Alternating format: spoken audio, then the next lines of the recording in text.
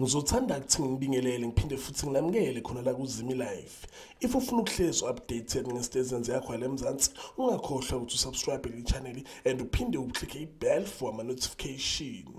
Kule video ethi namhlanje ngizokhuluma ngendaba yasiyabonga Hadebe odlala indawo kaviki izitha amagwaza kuzalo. Namhlanje ngikuphathele indaba engeze kuthokozisa futhi indaba ezokuthusa ngayeke uvika izitha amagwaza. Le nyanga esiphuma kuyona kwinyanga kaDisemba kwavela ukuthi uvika izitha amagwaza waphanjanelwa yikhanda. Babeke sebemphuthumise esibhedlela. And siphinde sathola ezinye indaba ke ezithi uvika izitha amagwaza usehlalile kulesi sibhedlela and isimo sakhe asisihle kahle. Bavezile ukuthi usenamasonto amaningi kuso lesi sibhedlela sabantu abaphanjanelwe umqondo. Indaba amaphephandaba baveza ukuthi usiyabonga usanda kubanjwa esibhedlela ehamba nqunu engaqokile. Lezi ndaba ezibuhlungu efo usiyabonga naye ifamily yakhe usiyabonga. Khumbula ukuthi usiyabonga kwavela indaba zokuthi ushile kuzalo.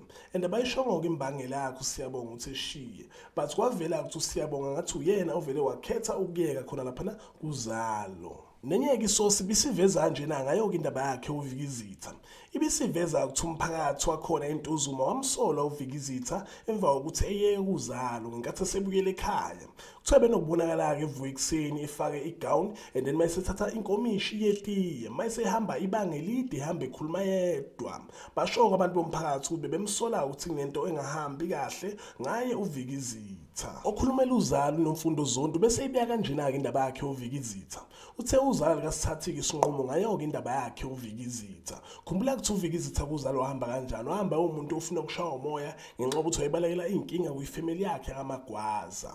So nje manje bengasithathike isinqumo sahlahle kuzokwenzakalani ngaye uvikizitha. Kube nezindaba ke sithola izolo kwenyama source eveze ukuthi uvikizitha uyalulama enesibhedlela noma yize isimo sisibi kodwa bavezile ukuthi bayabona kumehluko kunakuqala.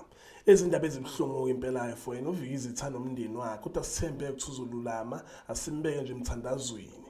Ngicela ungakhohlwa nje uthola ikhe le video engithi ke nje danke ngiyabonga.